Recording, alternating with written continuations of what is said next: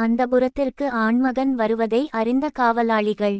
சிவபுராணம். உஷையின் பேச்சுக்களால் தான் தங்கியிருக்கும் இடத்தை அறிந்த அநிருத்தன் நான் எப்படி இவ்விடம் வந்து அடைந்தேன் என்று கேட்டார். உஷையோ அநிருத்தன் எவ்விதம் இவ்விடத்தை வந்தடைந்தார் என்பதையும் ஏன்?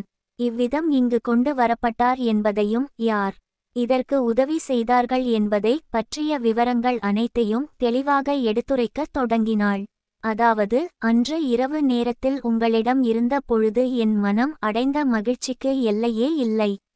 நான் ஒரு புதுவிதமான உணர்வுடன் இருந்த கணப்பொழுதுகளை என்னால் என்றும் மறக்க இயலவில்லை என்றும் என் மனமும் என்னிடம் இல்லாமல் உங்களை பற்றிய சிந்தனைகள் மற்றும் எண்ணங்களுடன் உங்களை தேடி அலைந்து கொண்டிருந்தது என்றும் அன்று முதல் என்னால் எந்தவிதமான செயல்பாடுகளிலும் கவனம் செலுத்த இயலாமலும் எங்கும் உங்களின் அழகிய முகமும் தோன்றிக் கொண்டிருந்ததால் என்னால் எந்த பணியையும் செய்ய இயலாமல் தனிமையில் வாடினேன். என் தோழியான சித்திரலேகையின் உதவியுடனும் அவள் அறிந்த மாய சக்திகளைக் கொண்டும் தாங்கள் இருக்கும் இடத்தை அறிந்து பின்பு சித்திரலேகையின் மூலமாக துவாரகையிலிருந்து இவ்விடம் வந்துள்ளீர்கள் என்று நாணத்துடன் தலை குனிந்தவாறு தன் மனதை எடுத்துச் சென்ற தன்னுடைய நாயகனான அனிருத்தனிடம் கூறினாள்.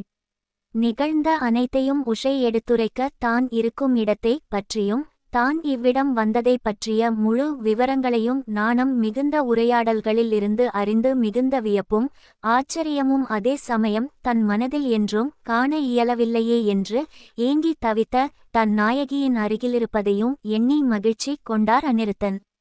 அன்று இரவு நான் எவ்விதம் இங்கு வந்தேன் என்பதை நான் அறியேன். ஆனால் உன்னை பிரிந்த அந்த நொடி முதல் என்னால் இவ்வுலகில் வாழ இயலவில்லை.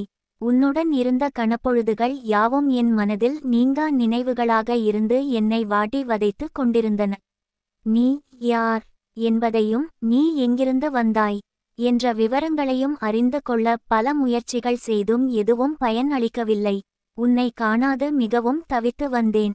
நீ இல்லாமல் என் வாழ்க்கை முழுமை அடையாது என்ற எண்ணம் என் மனதில் மேலோங்கத் தொடங்கின. உன்னை காண வேண்டும் என்ற எண்ணம் கணப்பொழுதும் அதிகரித்து உன் நினைவாகவே இருந்தேன் என்று கூறினார் அனிருத்தன். நம் இருவரின் சந்திப்பும் மற்றும் நம் மனதில் தோன்றிய எண்ணங்கள் யாவும் இறைவனின் சித்தத்தால் தான் நிகழ்கின்றன என்பதாக உணர்கின்றேன். அதன் காரணமாகவே துவாரகையிலிருந்து என்னை சோனிதபுரிக்கு மாய சக்திகளால் உன்னை சந்திக்க நேர்ந்துள்ளது என்று மிகுந்த மகிழ்ச்சியுடன் புன்முறுவல் பூத்த முகத்துடன் உஷையை நோக்கி கூறினார். தன் மனம் விரும்பிய நாயகன் தன்னை விரும்புவதையும் அவருடன் நடைபெற்ற இந்த முதல் பேச்சுகள் தயக்கத்திலிருந்து வந்த உஷைக்கு மிகுந்த மகிழ்ச்சியையும் அளித்தது. மனதில் இருந்த தயக்கம் நீங்கி தன் நாயகனை சிரம் நிமிர்ந்து நாணத்துடன் கண்டு பேரானந்தம் அடைந்தாள். பின்பு அனிருத்தன் தன் மனதை களவாடிய களவாணியை அரவணைத்து தனது அன்பை வெளிப்படுத்தினார். தன் மனதிற்கு விரும்பியவருடன் இருந்த அந்த நொடிப்பொழுது அரவணைப்பால் பல காலங்களாக தன் மனதில் இருந்து வந்த தவிப்பும் ஆதங்கமும் நீங்கி தான் முழுமை அடையப் போகின்றோம் என்பதை உணர்ந்தாள் உஷை. அரசகுமாரியான உஷை தன் காதலனுடன் பலவாறாக கூடி அந்த புறத்தில் பலவிதமாக இன்பமாக பொழுதை கழித்து வந்தாள். காதலர்களான இருவரும் தங்களை பற்றிய விவரங்களை ஒருவருக்கொருவர் பகிர்ந்து கொண்டு தங்களது உறவை மேம்படுத்தினர். நாட்கள் யாவும் கடந்தோடின. அந்த புறத்தில் நடந்து வந்த இவர்களின் காதல் மெல்ல மெல்ல அங்கு காவல் பணியில் ஈடுபட்டு கொண்டிருந்த காவலாளிகளின் செவிகளுக்கு எட்டியது.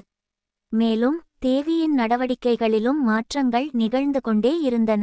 அவரிடம் காணப்பட்ட சிறு சிறு மாற்றங்களையும் தெளிவாக மற்றவர்களுக்கு உணர்த்தும் வகையில் தேவியின் நடவடிக்கைகள் யாவும் இருந்து வந்தன. இவைகள் தேவியின் உடனிருந்த தோழிகளுக்கும் மேலும் அங்கு காவல் பணியில் இருந்து வந்த காவலர்களுக்கும் ஒருவிதமான சந்தேகத்தை ஏற்படுத்திக் கொண்டிருந்தன. பின் காவலாளிகள் தங்களது பணிகளை துரிதப்படுத்தி நிகழும் மாற்றங்களை உணரத் தொடங்கினார்கள். அதாவது அந்த புறத்தில் பல வீரர்கள் காவல் காக்கும் பணியில் இருக்கும் பொழுது எவரும் அறியாவண்ணம் ராஜகுமாரியின் அந்த புறத்திற்கு ஓர் ஆடவன் வந்து செல்லும் செய்தியை காவலாளிகள் அறிந்து கொண்டனர். பின் அவன் எவ்விதம் இந்த அந்தப்புறத்தில் வந்து செல்கின்றான் என்பதை அறிய முற்படத் தொடங்கினர். காவலாளிகளின் முயற்சிகள் யாவும் சரியான பலன்களை அளிக்கவில்லை. அவர்கள் என்ன செய்வது என்று அறியாமல் இருந்து வந்தனர். பின்பு தனது தலைவரிடம் இச்செய்தியை எடுத்துரைக்க வேண்டும் என்ற எண்ணத்துடன் காவலாளிகள் தனது தலைவர் மற்றும் வேந்தரான பாணாசுரனை காணச் சென்றனர்.